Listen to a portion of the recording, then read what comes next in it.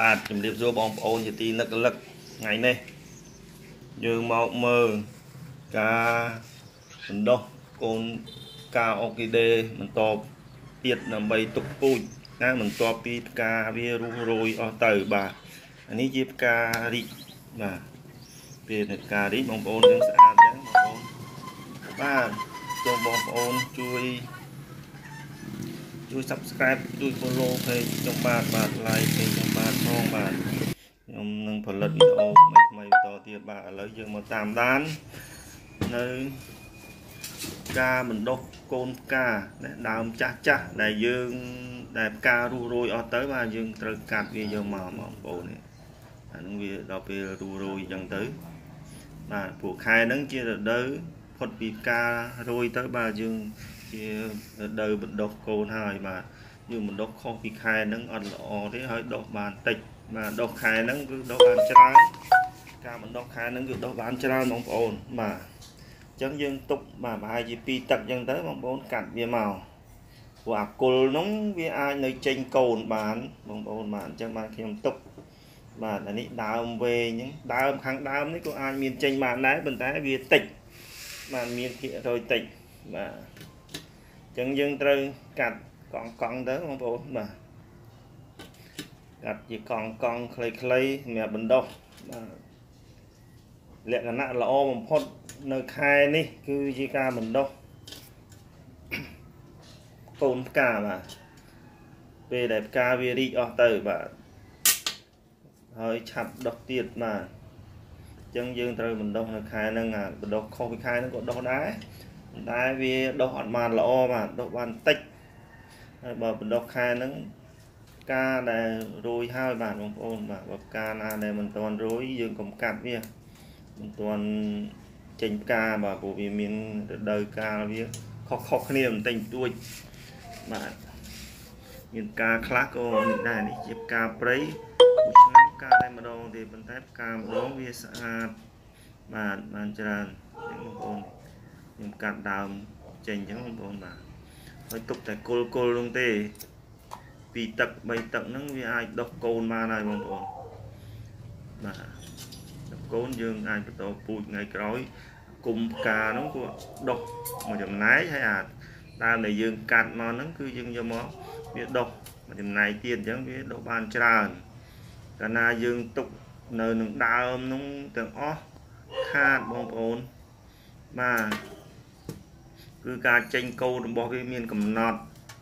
កាលណាយើងទុកនៅក្នុងដើមហើយដល់តែប្រហែលខែក្រោយមកដើមស្វិតខូចអស់ហើយបោះចោលគឺអត់យកជាការបានទៀតទេអញ្ចឹងហើយបានយើងត្រូវកាត់បាទយកមកបណ្ដោះហើយបើទុកយូរពេកទុករាប់ខែទៅទៀតហ្នឹងក៏ដើមហ្នឹងស្វិតដល់ពេលស្វិតទៅ គឺយើងបណ្ដោះអត់ដោះទេបាទដោះដែរប៉ុន្តែ ដុះតិចបំផុតបាទហើយបើសិនជាយើងកាត់ថ្មីថ្មីចេះវាអាចដុះច្រើនដុះបានច្រើនបាទបងប្អូនដុះបានភាគរយច្រើនជាង បាទនេះជាអុកម៉ូនបងប្អូនមួយចំនួនដែលគាត់សួរខ្ញុំថាឲ្យខ្ញុំបង្ហាញអុកម៉ូនដែលខ្ញុំប្រើបាទនេះជាអុកម៉ូនប្រភេទជែលបាទជាជែលខាប់ខាប់ដូចជាហួយអញ្ចឹងបងប្អូនបាទ ខ្ញុំទិញតាមឡាញមកទេបាទគេមានលក់បាទជាងជែលហ្នឹងយើងត្រូវដាក់នៅខាងចុងខាងដើមអញ្ចឹងប៉ុន្តែអឺការដែលកាត់ហ្នឹងយើងទុកឲ្យស្ងួតសិនបងប្អូនចាំយើងយកជែលហ្នឹងមកដាក់បាទដាក់សងខាងដែលនៅមុខកាត់ហ្នឹងបាទដាក់ហើយគឺត្រូវទុក ឲ្យស្ងួតទៀតបានបងប្អូន បានយើងអាចយកមកដាំបាទទុក1ម៉ោង2ម៉ោងទៅស្ងួតហើយបងប្អូនបាទពេលដែលកាត់យើងទុកស្ងួតរយៈពេល1ម៉ោង2ម៉ោងហើយយើងដាក់ជែលទៅក៏ទុកឲ្យស្ងួតរយៈពេល1ម៉ោង2ម៉ោងទៀតបាទបងប្អូនដើម្បីឲ្យស្ងួតឲ្យឲ្យវាបឺតចូលបានល្អបាទ បាទនេះជាប្រភេទជែលមួយអុកម៉ូនដែលខ្ញុំធ្លាប់ប្រើហើយមាននៅអុកម៉ូនជាច្រើនទៀតមានជាម្សៅមានជាទឹកមានជាស្ប្រាយបាទលាយទឹកបាញ់ក៏មានដែរលាយទឹកលាបគល់ក៏មានដែរបាទបាទបាទនេះជាប្រភេទលាបដើមបងប្អូនបាទ យើងត្រាំដើមក៏បាន ចាក់បញ្ចូលនៅក្នុងដើមក៏បានបាទឥឡូវយើងចាក់ត្រាំបាទយើងត្រូវលាយទឹក 5cc លាយទឹក1លីត្រអើលាយទឹក 1cc បាទអើលាយលាយសំទោសបងប្អូនទឹក 5cc លាយអុកម៉ូន 1cc បាទអញ្ចឹងខ្ញុំដាក់ 10cc បាទ 10cc 10មីលីលីត្របាទហើយខ្ញុំបូមអុកម៉ូនហ្នឹង 2cc បាទ2មីលីលីត្របាទបាទបូម2មីលីលីត្រយកមកលាយជាមួយនឹងទឹកយើងហ្នឹងទឹកសុទ្ធធម្មតាបងប្អូនបាទហើយយើងដាក់ត្រាំទៅបងប្អូនបាទត្រាំកូនដែលយើងប្រុងបណ្ដោះបាទ ត្រាំដើមផ្កាដែលយើងបណ្ដោះបាទអានេះគឺជាដើមផ្កាចាស់ចាស់បងប្អូនបាទបាទត្រាំមកចំណែកបងប្អូនបាទត្រាំរយៈពេលយូរតិចទៅឲ្យវាបឺតចូលទៅក្នុងដើមហ្នឹងបាទ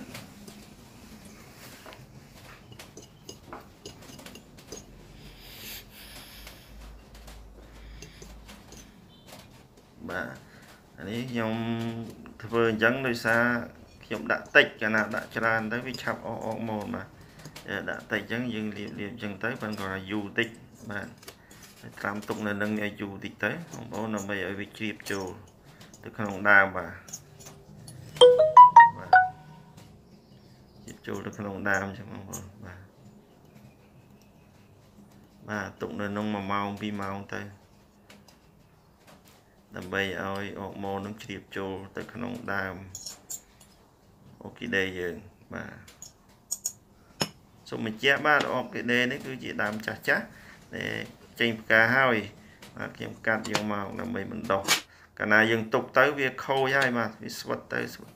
ស្វិតទៅខូចតែវាអាចដុះកូនខ្លះចេញមកដែរប៉ុន្តែវាបានតិចបាទបងប្អូនបាទ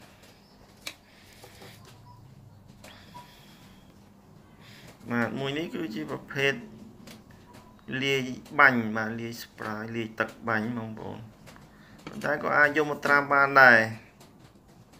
បាទបងប្អូនបាទនេះនៅសល់តិច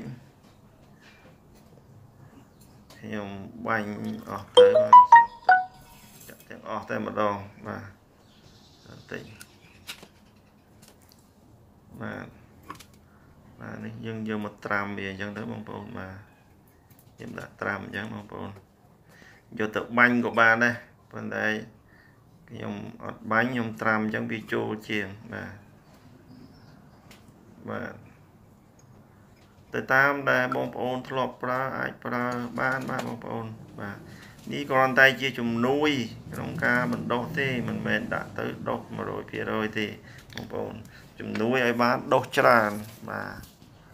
តែយើងអត់មានជំនួយវាដុះបានតិចបាទ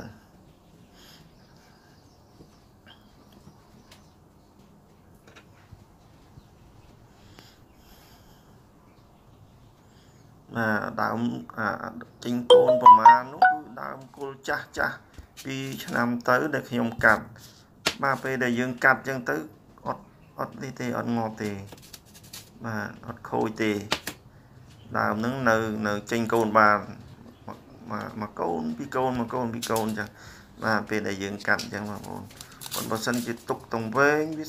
ស្វិតអស់អាលីងបាទមិនបើកាត់អញ្ចឹងគល់នោះអត់ខូចទេនៅដុះបានបាទបាទនេះប្រភេទចាក់ចូលទៅក្នុងដើមបងប្អូន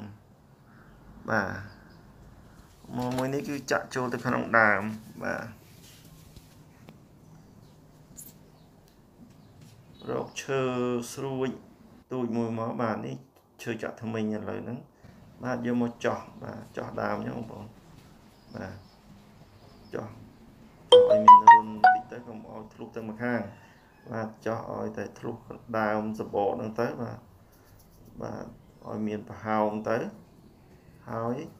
យើងត្រូវយកទឹកថ្នាំនឹងទៅបន្តក់នៅលើកន្លែងដែលយើងចោះនឹងបាទប៉ុន្តែចោះពី1ទៅ1គឺ2ទៅ3ថ្នាំងបងប្អូនអត់ចោះញឹកពេកទេបាទចោះ2ទៅ3ថ្នាំងបងប្អូន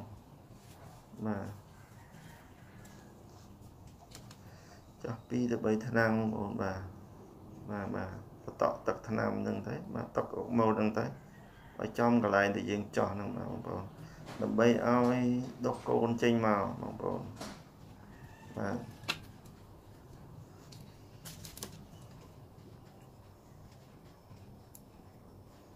បាទចោះគ្រប់ដើមបងប្អូនបាទដើមណាដែលយើងចង់ឲ្យចេញកូនយើងមើលផងបាទ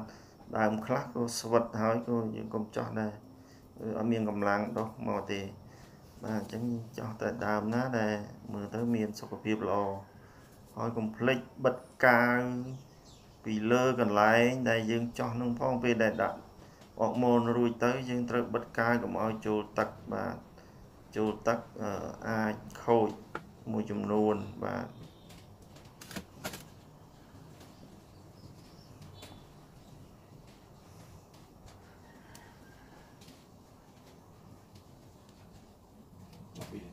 បាទចោះអញ្ចឹងបាទចោះហើយយើងបន្តថ្នាំដាក់រាប់1 2 3ថ្នាំអញ្ចឹងទៅយើង1 2 3ថ្នាំយើងចោះមួយបាទដើម្បីឲ្យមានដុះកូនបាទគ្រាន់តែជាជំនួយឯងមិនដុះ100%ទេបងប្អូននួយអាចដុះបានច្រើនបាទ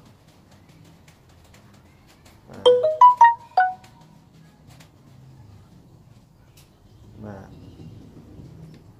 đại chiến 4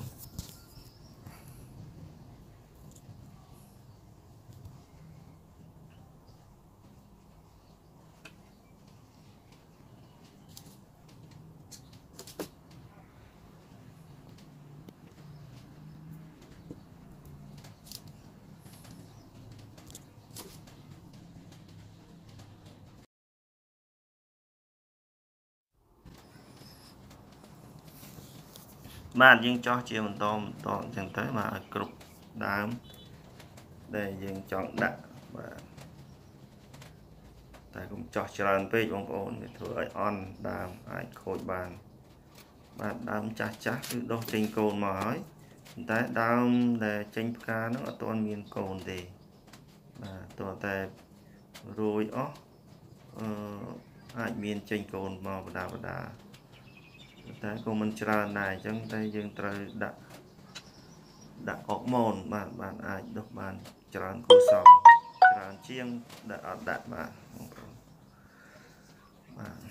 យើងត្រូវខៃរុនទូចទូចបន្តិចបន្តិចទៅដើម្បីដាក់ទឹកថ្នាំនឹងទឹកអុកម៉ូននឹងបាទ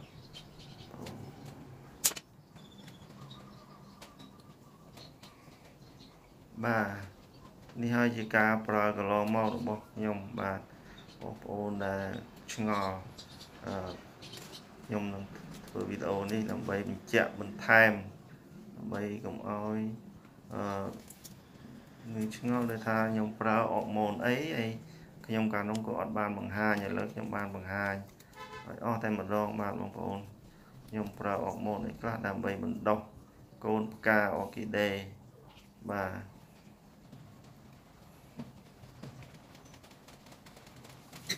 បាទគល់អាចយើងអាចកោសគល់តិចតិចតិចតិចអញ្ចឹងយើងបន្តទឹកថ្នាំទៅទឹកអមទៅបាទក៏អាចដុះដែរបងប្អូនបាទ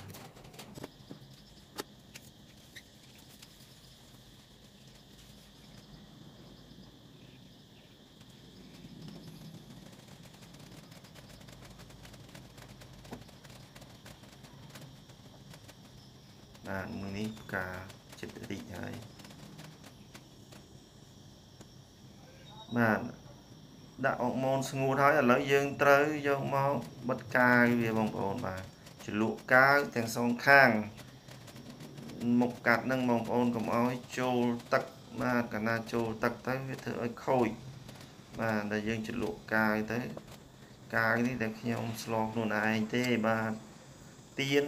ហើយនឹងខ្ជូងបាទតែពីរមុខនឹងទេ បាទខ្ញុំអត់ដែរទិញកាវមាន